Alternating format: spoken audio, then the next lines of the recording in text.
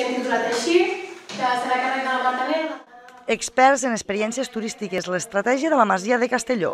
Sota aquest nom es va celebrar dissabte una jornada a Castelló organitzada per l'Associació Masia de Castelló amb la col·laboració de diverses entitats i fundacions.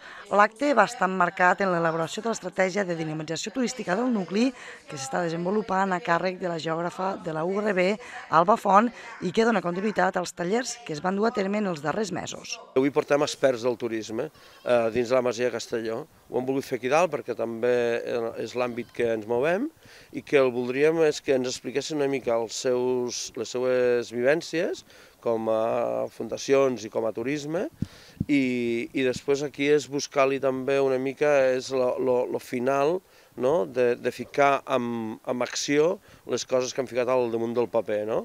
les propostes, les idees, i això sí que és el que volem des de Masia Castelló, que les idees i les propostes les fiquem en, en, en fets i a partir d'aquest últim taller el que farem serà ficar-ho a la pràctica unes quantes. Ja en tenim unes 3-4 propostes que les ficaríem en marxa d'aquí al Pessebre, eh, durant aquest, tot aquest any.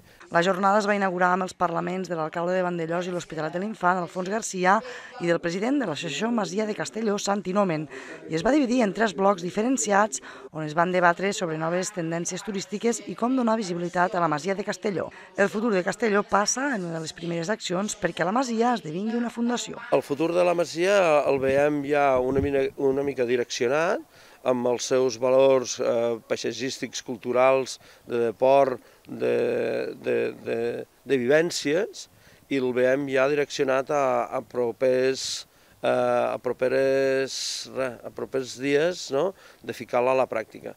Com? Doncs fent el pla especial, tindre'l ja una mica ja ordenat i que fiquem en marxa i segon ja fer la, la fundació. No?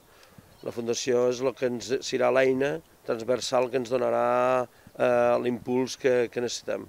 El primer dels blocs portava per nom la creació d'experiències turístiques i van a càrrec de Marta Nelo, degana de la Facultat de Turisme i Geografia de la URB, el segon, Fundació Patrimoni i Valor, per part de la directora de la Fundació Masmiró, Helena Juncosa, i el tercer, l'estratègia de la Masia de Castelló, a càrrec de Ramon Orpinell, director gerent de la Fundació Castells Culturals de Catalunya. Ja a la tarda, després d'un tas de vins i d'un dinar a base de clotxa, es va portar a terme el tercer taller participatiu conduït per l'Alba Font sobre les noves propostes i estratègies de dinamització de Castelló.